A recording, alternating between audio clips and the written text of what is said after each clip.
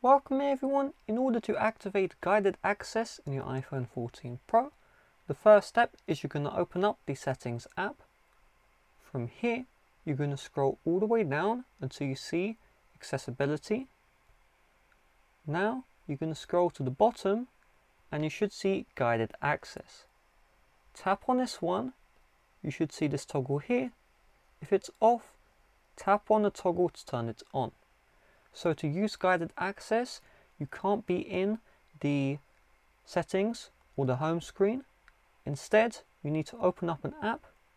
And then once you want to turn on guided access, you triple click the power button right here. Click, click, click. And you can see guided access will show up. If this view doesn't show up, go back into settings. Just make sure accessibility shortcut is turned on also make sure under where it says the accessibility shortcut guided access is at the top. So where the triple lines are just slide it up to the top. Now when you do the triple click you now have the guided access. So you have the options here.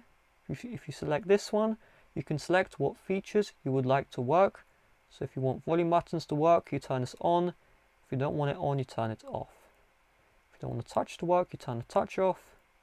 You can also circle areas where you would like to disable touch and resize here as well. Once you're happy, just tap on start. You will need to create a guided access password. So I'm going to do this one. And then guided access is started. So you can see this touch area is disabled, so the touch isn't going to work. If you disable the full touch screen, of course the full touch screen won't work. The side button isn't working, okay. Volume rocker is not working either. To turn off guided access, you just triple click the power button again.